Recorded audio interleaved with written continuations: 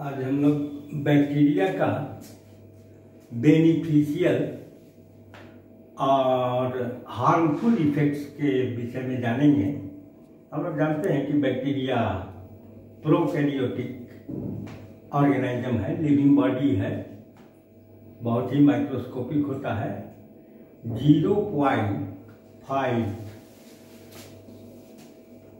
zero point five to five point zero micron इनका size होता है।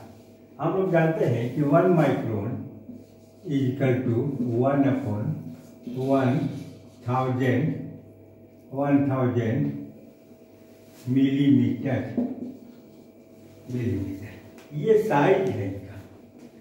बहुत ही माइक्रोस्कोपिक होते हैं और इस पृथ्वी पर हर जगह पाए जाते हैं।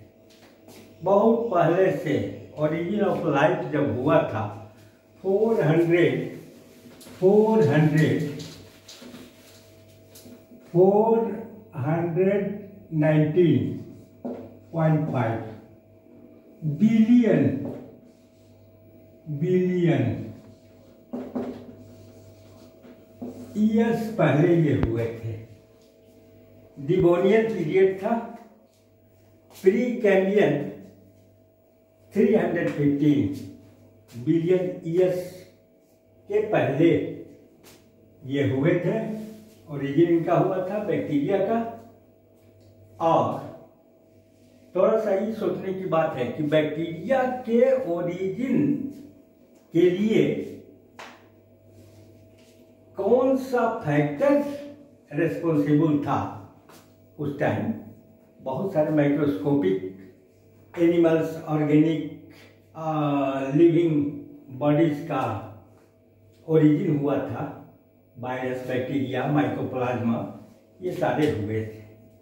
तो बैक्टीरिया जो हुआ, उसके पहले वायरस आरएनए का जो मॉलिक्यूल पहले उसकी ओरिजिन हुई, उसके बाद वायरस बैक्टीरिया का की उत्पत्ति हुई डीएनए बना और बैक्टीरिया में डीएनए न्यूक्लिक एसिड के रूप में प्रेजेंट रहता है। प्रेजेंट रहता है। इतना सूक्ष्म माइक्रोस्कोपिक एनिमल बैक्टीरिया बैक्टीरिया, ये हर जगह होते हैं पृथ्वी पर। जितने भी हैबिटेट हैं, चाहे वाटरी हैबिटेट हो, एक्वेटिक हो, या टेरेस्ट्रियल हो ओशियंस हो या माउंटेन्स हो ग्रास लैंड हो या फॉरेस्ट हो आदमी मैन खासकर जब इसकी उपयोगिता के विषय में हम लोग जानते हैं कि आदमी के लिए बैक्टीरिया कितना बेनिफिशियल है और कितना हार्मफुल है। बहुत ज़्यादा स्टडी इस पर की गई है। इसकी बैक्टीरिया, क्योंकि आदमी के इंटेस्टाइन में गर्थ में क्लोइकल अपरेटस और यूरोनोजेनाइटल पोर्शन के अंदर तो रहते ही और ह्यूमन बॉडी के ऊपर भी ढेर सारे संख्या में बैक्टीरिया होते इनसे लाभ मैनकाइंड को है कि इनका डाइजेशन ये ठीक से करते हैं डाइजेशन में हेल्प करते हैं। और जो फ़ूड ये बेनिफिट्स है बैक्टीरिया के। बेनिफिट्स है। To human body human being आदमी के लिए क्या इनका रोल है? आदमी को इनसे क्या लाभ मिलता? हम जानते हैं कि हर जगह आदमी के शरीर में टोटल इंटरनल इंटेस्टाइन गट और रेक्टम यूरोजेनिटल सिस्टम हर जगह अंदर में प्रेजेंट होते हैं और शरीर के ऊपर भी रहते हैं। जो अंदर में रहते हैं, वो डाइजेशन में हेल्प करते हैं। जो फ़ूड हम लेते हैं, उसको ये कन्वर्ट कर देते हैं। सिंपल पार्टिकल्स में सिंपल पार्ट, प्रोटीन को, कार्बोहाइड्रेट को, फैट को, ये ब्रेक करते हैं और कन्वर्ट कर देते हैं। सिंपल मॉलिक्यूल्स में और जो हम, उससे हम लोगों को एनर्जी मिलती है ताकत मिलता है और उससे एन डीएनए का निर्माण होता है और लाइफ सुचारू रूप से चलता है। कभी कभी बैक्टीरिया मैनकाइंड के लिए दूसरे रूप में भी लाभदायक होते हैं। जैसे ये इथेनॉल बना देते हैं। इथेनॉल का प्रोडक्शन यही बैक्टीरिया के हेल्प से होता है। शुगर फैक्ट्री में बहुत बड़ी मात्रा में इथेनॉल का उत्पादन किया जाता है बैक्टीरिया के हेल्प से। बहुत सारे एसीटोन, बहुत ज़्यादा इंडस्ट्रियल उसका वैल्यू है, इससे मिलता है। बैक्टीरिया से उत्पन्न हो, होता है। बहुत सारे ऑर्गेनिक एसिड ऑर्गेनिक एसिड या विनेगार सिरका जिसको कहते हैं सो जो वाइन्स बनते हैं कहा कहाँ काम देता है? अगले को। पहला तो है डाइजेशन। डाइजेशन। डाइजेशन में सहायता पूरे इंटरनल ऑर्गन्स के फ़ंक्शन को रेगुलेट करता है एक्सक्रीशन तक। जब फ़ूड आदमी अंदर लेता है तो वहाँ से इनका रोल बैक्टीरिया का चालू हो जाता है और डाइजेशन के बाद एक्सक्रीशन जो स्टूल्स और यूरिन के रूप में निकलते हैं, उनमें भी इन्हीं का रोल होता है। बैक्टीरिया का। अगर ये नहीं रहेंगे तो समूचा फ़ंक्शन डिस्टर्ब हो जाएगा। इसके अलावा मैनकाइंड के लाभ के लिए जो इथेनॉल है, चाहे ये है, उसका प्रोडक्शन इनसे होता है एंटीबायोटिक जब ल्यूएन हाक ने 1676 में इसको खोजा था, देखा था बैक्टीरिया को एंटनी वन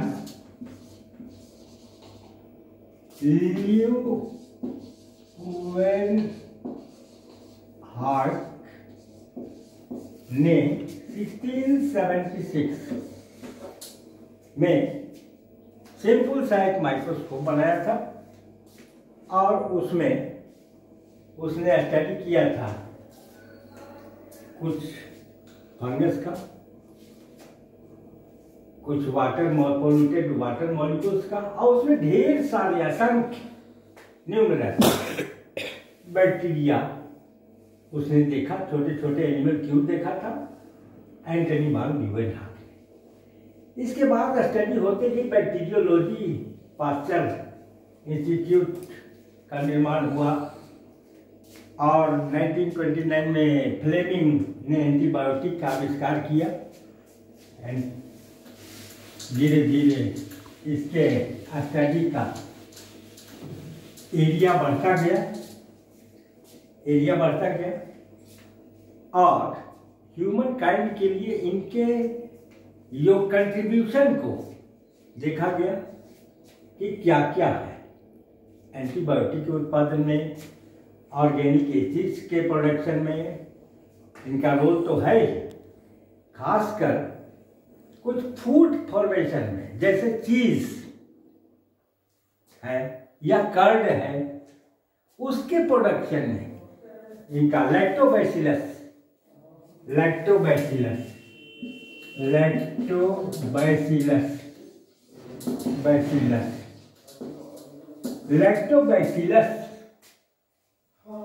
के डिफरेंट स्पीसीज जो होते हैं और उन स्पीसीज का रोल होता है कर्ड के फॉर्मेशन में और चीज़ के फॉर्मेशन में विनेगार के फॉर्मेशन में फर्मेंटेशन में और वाइन के फॉर्मेशन में। ये फ़ूड एवं ड्रिंक्स के फॉर्मेशन में इनका बहुत बड़ा रोल है बैक्टीरिया का।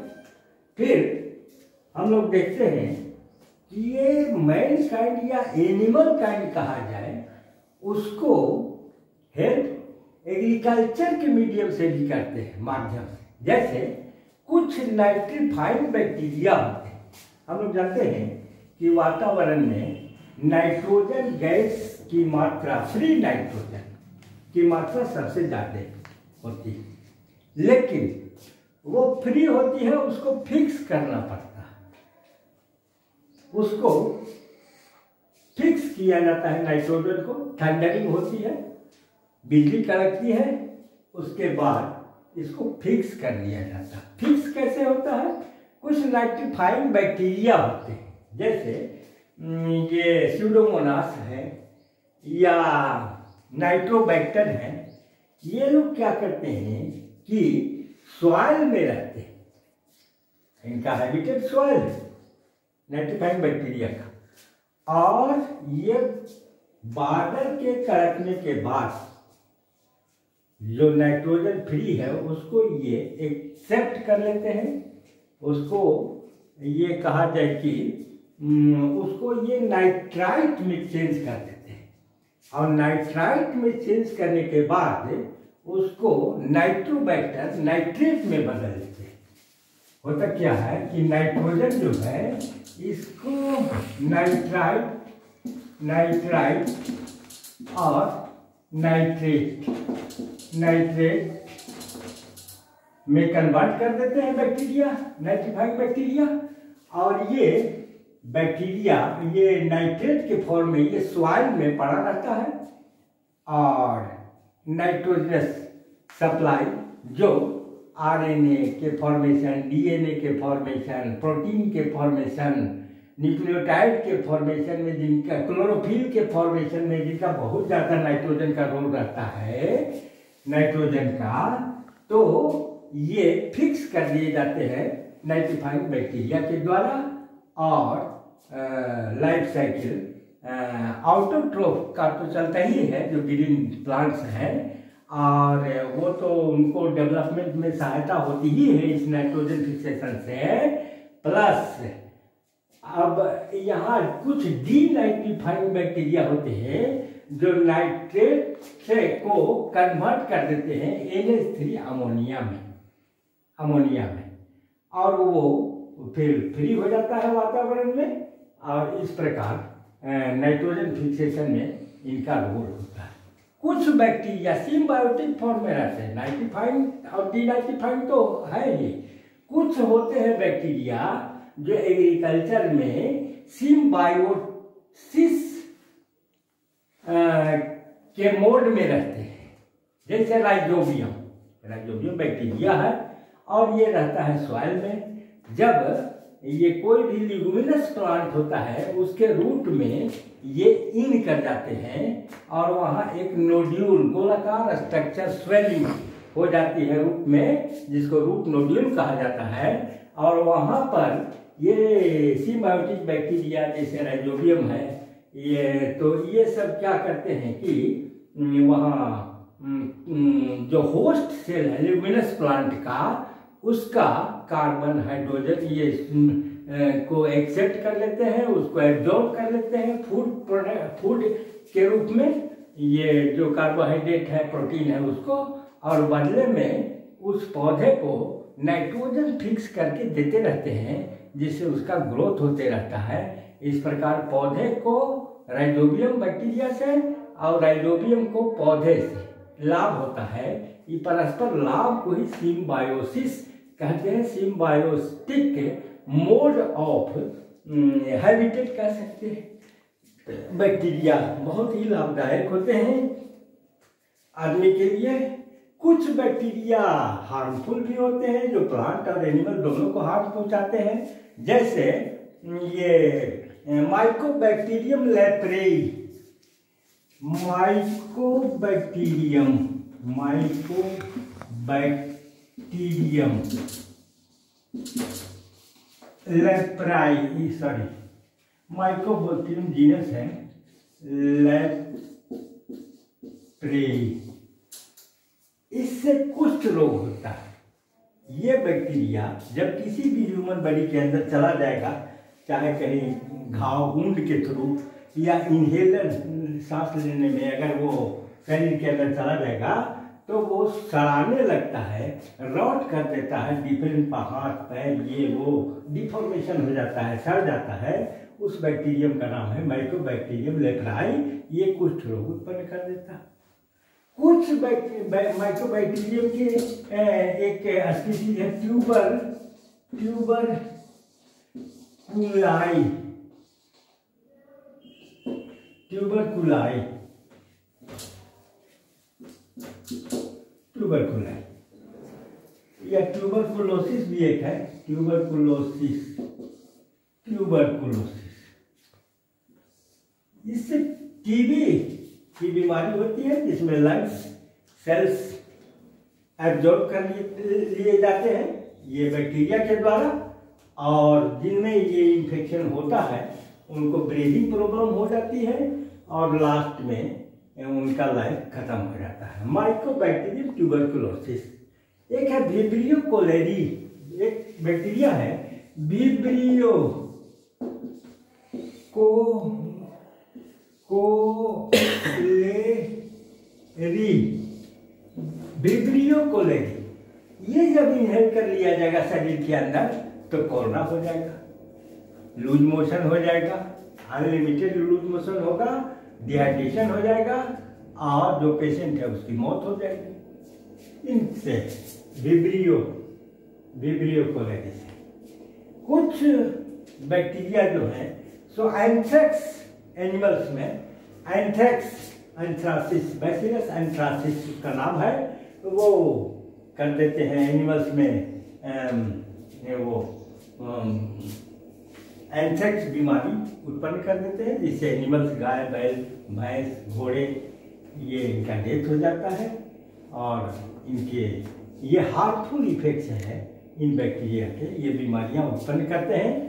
और ये पौधों में भी, जैसे ring disease of solanaceae family का जो पोटैटो है, उसमें रिंग डिज़ीज़ लीफ पर रिंग लाइक स्ट्रक्चर्स उत्पन्न हो जाते हैं और वो पौधे को रॉट कर देते हैं।